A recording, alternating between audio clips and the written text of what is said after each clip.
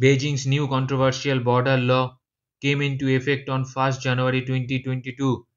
India is already facing unlawful transgressions by the Chinese army in eastern Ladakh and the Arunachal Pradesh. With this new border law, situations in the border areas will become very complicated and the problems with the border issue will grow further. It will not be resolved further because the during the time of the COVID-19 the China transgressed the Indian border forcefully through the disputed land and the land claimed by the India. And yes, that is India's land because according to the history, that land belongs to the India. And the China unlawfully captured that land in 1950s and built the road over it. Hello everyone. In this topic, I would like to tell you about the China's new border law briefly and what are the implications it will have on already ongoing volatile border issue. So to talk about the implication, let's briefly talk about the what is the Beijing's new border law. On 23rd October 2021, the Standing Committee of National People's Congress, which is China's top legislative body, passed a new law citing the protection and the explorations of the country's land border issue. The new border law has 62 articles and 7 chapters as per the law, the People's Republic of China shall up boundary markers on all borders to clearly mark the border. This law not specified to the India but for all the 14 countries with which China share its land boundary. It mandates the state to take the measures to strengthen the border defense, support economic and the social development, as well as the opening up in the border areas, improve the public services, and infrastructures in such areas. Encourage and support the people's life and the work there. And also the promote coordination between the border defense and the social economic development in border areas. This means that is encouraging the peoples to go into the villages to build up the villages into the border areas. So the, this this thing will going to make the make the situation very complicated. The new law also says that the state shall follow the principle of equality, mutual trust, and the friendly consultations to handle the land border related affairs with neighboring countries through the negotiations to properly resolve the dispute and the legislating or long standing border issue. These are the very complicated thing because the countries like China cannot resolve the issue by simply talking with each other because they are the belligerents they, they are they have the belligerence characteristic they always believe in the war war kind of situations to support their economy to fuel their economy to run their economy because that is very important for because their economy is fragile. Their economical systems is dwindling right now after the covid-19 so these kind of words are very very complicated and the con- confusions. The law the law also lays down the four conditions under which the state can impose the emergency measure, including the border shutdown. And what are those conditions for the shutting down the border? The first condition is when a war or the armed conflict breaks out on the China's periphery, endangering the security and the stability of its border. Second one is when a big incident poses a serious threat to the national security or the lives and the property of the border people. Third one is when a national calamity, public health incident, or the nuclear, biological, or the chemical contamination puts the border area in jeopardy. The fourth one is other scenarios that have the significant impact on the land and the borders as well as the security and the stability of the border regions these are the things are very important because if something happened regarding the nuclears or the chemicals attack then they they can shut down their border. And that will going to happen not from the other sides but from their side. And now how this law will going to affect the india's interest? Because the law uh, disputed have already affected the india's interest and how it will going to complicate the border situation between the india and china? And that is the very main subjects of this discussion. The new boundary laws are bound to have an effect on India. The laws came into a very conflicting time with the Dragon.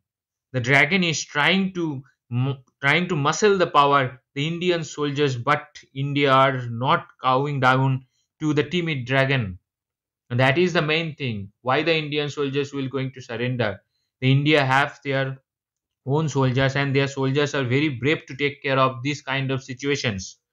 And the first, the thing is that the legislation could become an issue as it prohibits the constructions of the permanent infrastructure close to the border without the Chinese permissions. And the India and the China both sides stepped up their construction activities in the recent times. India is building the roads, bridges and the housing units for the troops at the breakneck speed and the China is also doing the same. The China is also building the new air bases in the Tibet autonomous zone.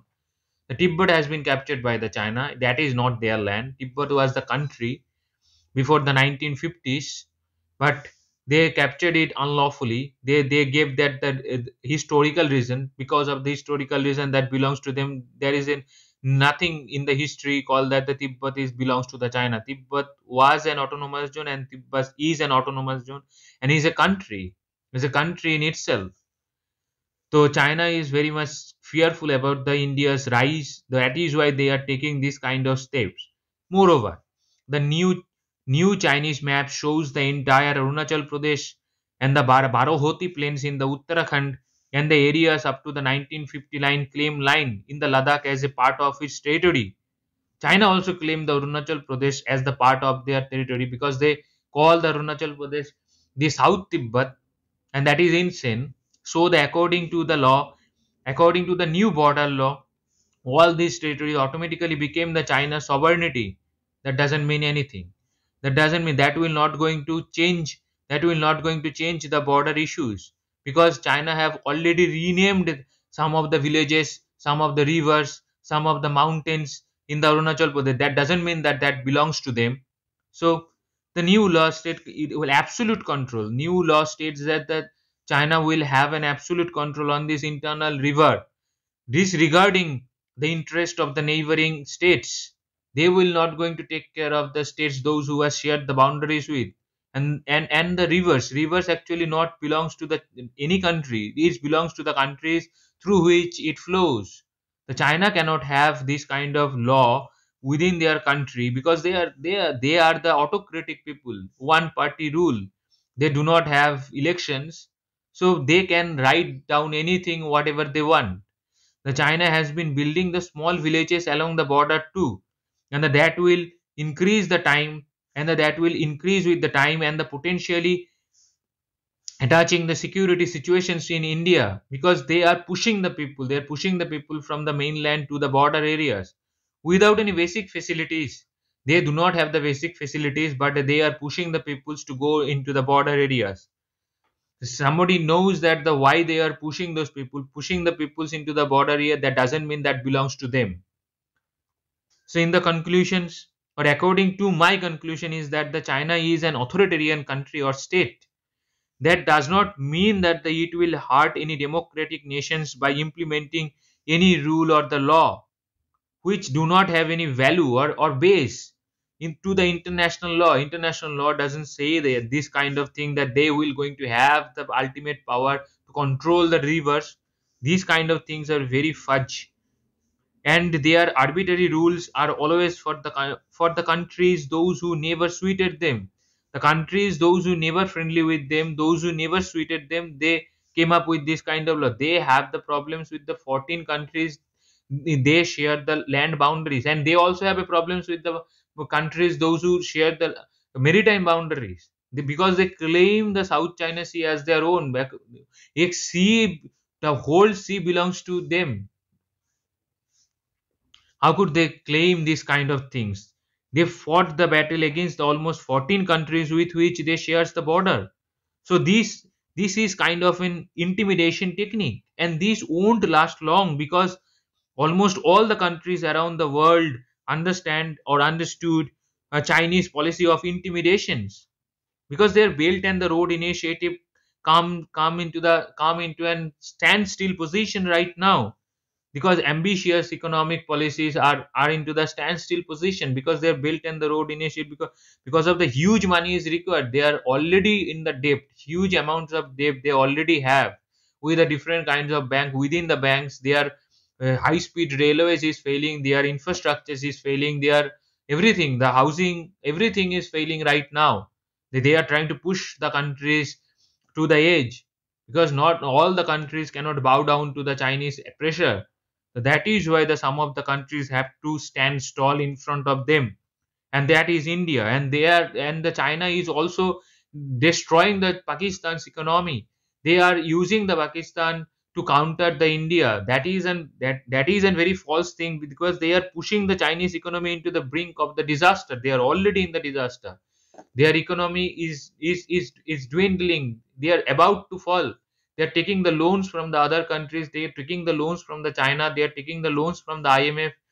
So they are already gone. Their economy is nowhere to seen. They they they are giving everything, every asset to the every country so world have to understood how the china country like china using their economic might destroying the another country's economy that is have to understand and and what are the issues the, the issues they china is creating. They are manipulative.